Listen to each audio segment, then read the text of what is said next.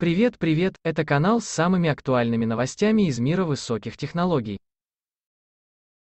В течение последних нескольких месяцев в сети часто появлялась инсайдерская информация о том, что Apple готовит новые беспроводные наушники. Причем, судя по всему, у компании в разработке сразу несколько девайсов разных ценовых категорий. Во-первых, сообщалось, что Apple готовит AirPods Pro Lite, которые будут идентичны актуальным прошкам, но не получат системы активного шумоподавления, за счет чего стоимость наушников будет ниже.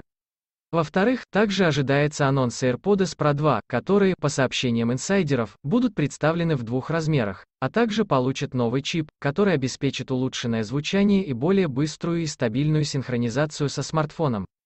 Ведущий аналитик Mobile Research Group Эльдар Муртазин считает, что Apple не представила вчера AirPods 3 потому, что мероприятие было посвящено нишевым продуктам, которые не рассчитаны на массовый рынок.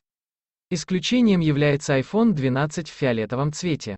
Такого же мнения и автор профильного YouTube-канала Diamagnetic и участник команды Wildsacom Media Арсений Петров. Однако, по мнению Петрова, AirPods 3 могут быть представлены в другие даты, если верить слухам, то AirPods 3 могут получить необязательные вакуумные амбушюры, которые можно будет надевать или нет по желанию пользователя.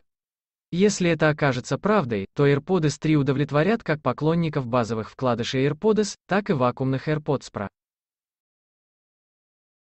Если видео было вам интересным, пожалуйста поставьте лайк и подпишитесь на наш канал.